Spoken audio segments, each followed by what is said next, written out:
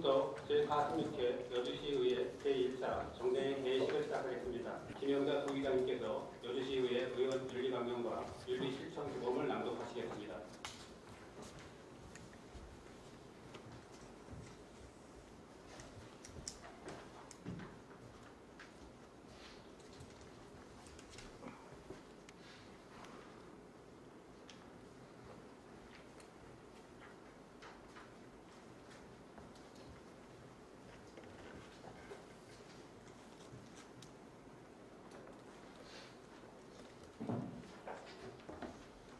여주시의회 의원 윤리 강령과 윤리 실천 규정. 우리 여주시의회 의원은 시민의 대표자로서 그 직무를 수행함에 있어서 공공의 이익을 우선하고 양심에 따라 성실하게 행동함으로써 시민들로부터 신뢰와 존중을 받을 수 있도록 노력하며 시민의 봉의 증진과 지역사회 발전에 헌신, 봉사함은 물론 이 시대가 요구하는 바람직한 우연상 정립과 효율적인 의정 활동을 수행하기 위하여 본 윤리 강령을 제정하고 다음 사항들을 윤리 실천 규범으로 삼을 것을 천명한다. 하나, 우리는 법령을 준수하고 공공의 이익을 우선하며 양심에 따라 직무를 성실히 수행한다. 둘, 우리는 직무를 수행함에 있어서 지위를 남용하지 아니하며 의원으로서의 품위를 충실히 유지한다. 셋, 우리는 직무와 관련된 재산상의 권리, 이익 또는 직위를 취득하거나 타인을 위하여 그 취득을 알선하지 아니한다. 넷, 우리는 공사 생활에 있어서 청렴한 생활을 실천하여 시민에게 모범을 보이며 공정성을 의심받는 행동을 하지 아니한다. 다섯, 우리는 시민의 봉의 증진과 지역 발전을 위하여 헌신 봉사함은 물론 여주시와 시민의 명예를 교양시키기 위하여 항상 최선의 노력을 기울인다.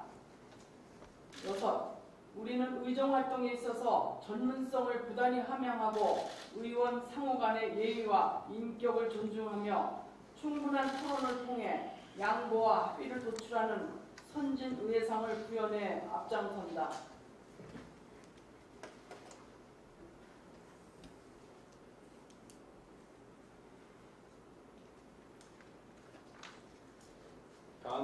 유필성 의사님께서 개회사를 하시겠습니다. 어, 존경하는 12만 여주 시민 여러분, 의정활동에 최선을 다하고 계시는 선배 동료 의원 여러분, 사람 중심 행동 여주 교류에서 오늘 경무에 SG 계시는 이양민 시장님을 비롯한 일선의 유익자 여러분, 네, 그리고 함께하신 정의로운 집필의 언론인 여러분, 안녕하십니까 여주시 의회 의장 필서원입니다. 지난 4월 초에 그러니까 제45회 임시회를 한 이후에 건강한 모습으로 좀 지쳐 보이긴 하는데 좀 건강한 모습으로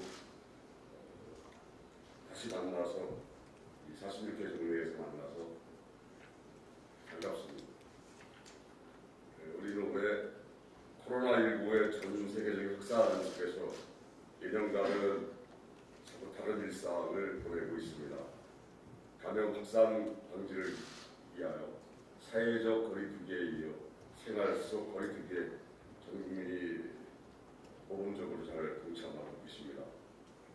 지난 2월 신천 지발 대규모 감염 확산에 이어 이번에는 이태원 클럽발 심착선이 크게 우려되었으나 다행히 그 길을 잘 잡아내고 있는 모습을 보여줘 매우 다행스럽게 생각합니다.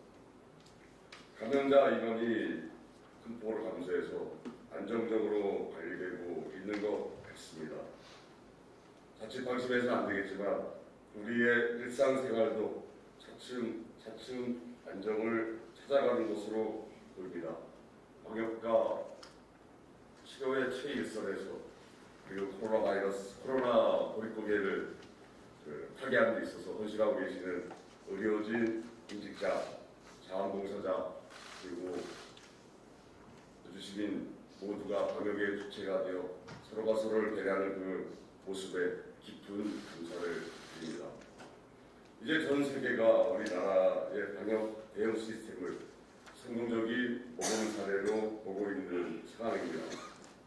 이는 우리 국민 모두가 서로를 배려하고 존중하고 협력, 연대하면서 코로나 위기 극복에 동참하고 있는 결과라고 생각하며 다시 한번 깊은 존경과 감사의 말씀을 드립니다. 또 중앙정부와 그 지방정부들이 재난지원금 집행을 시행하면서 코로나19로 인한 코로나 고립 공개를 그 타격을 해소해 가고 있습니다. 여주시 의회와 집행부도 경제적 어려움을 겪고 있는 시민들을 지원하기 위해 지난 4월 임시회에서 여주시 재난기본소득을 빠르게 제정하였고 경기도와 함께 1인당 20만 원의 재난기본소득을 지급하고 있습니다. 정부 차원에서도 가구당 최고 100만 원 지급을 시행하는 등 약 150조 가량의 그 경제 지원을 집행하고 있습니다.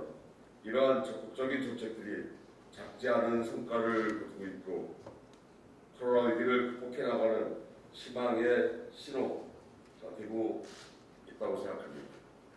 그러나 이것은 최소한의 조치입니다. 앞으로 닥칠 미래의 충격과 파장을 어떻게 헤쳐나갈지에 대해서 우리는 계속 고민해야 된다고 생각합니다. 성공적인 방역 대응과 재난 타겟 체계도 불구하고 앞으로 닥쳐올 미래에 대해 우려의 소리가 여전히 있기 때문입니다.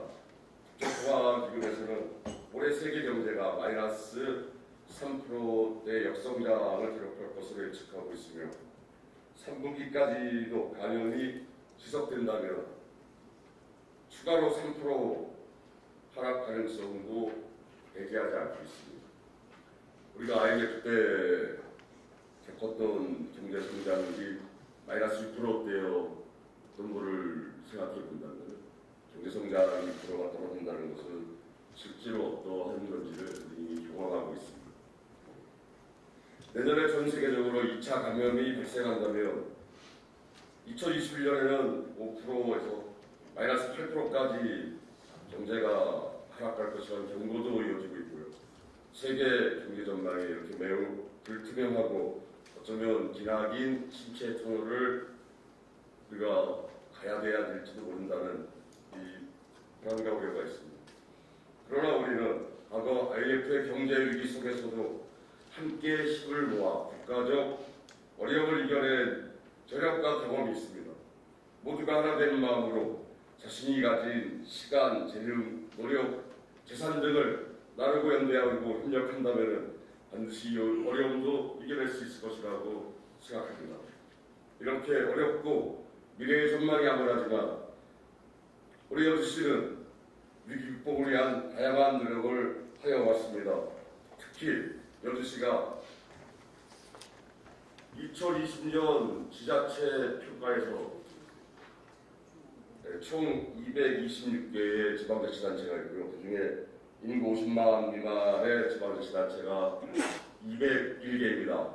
제주도와 세종시 그리고 한 곳이 인구 50만 미만의 제주도, 어, 세종시 그세 곳은 인구 50만 미만의 광역자치단체인데 거기 빼면은 201개 50만 미만의 지방자치단체에서 지방정부에서 그 종합순위 1위를 하였습니다. 여주시가 대단한 기본입니다.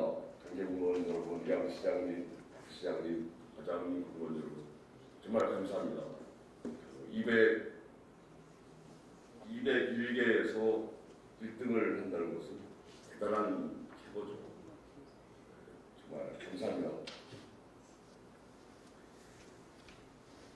이 모든 것이 이양기 시장님을 중심으로 여주시의 공직자들이 어, 여주 시민을 위한 적극 행정에 어, 협력하고 단결하여 이루어낸 성과입니다.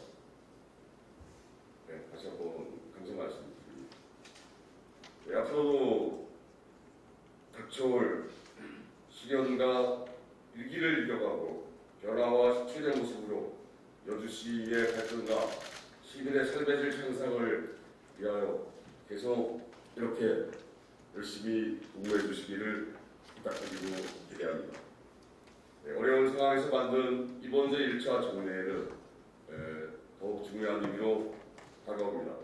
이번 회기에 처리하는 조례안, 국유재산 관리계획 변경안, 추경 예산안, 결산 승인안, 행정 감감사 등 모든 사안들이 의례적인 것이 아니라 우리 여주시에게 던져진 엄중한 시험 문제들이라라는 자세로 임했으면 좋겠습니다. 제출된 안건들을 여주 시민들의 입장에서 시민들의 눈높이에 맞추고 제대로 검토하고 심도 있게 심의할 때 우리 여주 시민들이 신뢰 속에 연대협력하는 그 바탕이 마련될 수 있을 거라고 생각합니다. 행정상감사를 통해 특히 행정에 대한 신뢰성이 높아지고 시민들의 다양한 의견이 적절히 반영될 수 있도록 해주시기를 바랍니다. 여주의 행정이 시민들의 행복을 향해 바른 길을 갈 수 있도록 수준 높은 행정 사무감사를 행정감사를 시행해 줄 것을 우리 선배동 의원님께 부탁드립니다. 집행부에서도 의원들의 의정 활동이 원만히 수행되도록 적극 협조해 주시기를 부탁드립니다. 특히 돌아오는 6월은 호국 보훈의 달입니다. 순국선열의 숭고한 희생을 다시 한번 생각해보는 시간이 될 수 있으면 좋겠습니다. 집행부에서는 장마철을 앞두고 피해 예방 및 복구 대책에도 만전을 기해 주시기 바랍니다. 모든 시민 여러분들 가정에 건강과 평안이 함께하길 소망하며 예사를 마치겠습니다. 감사합니다.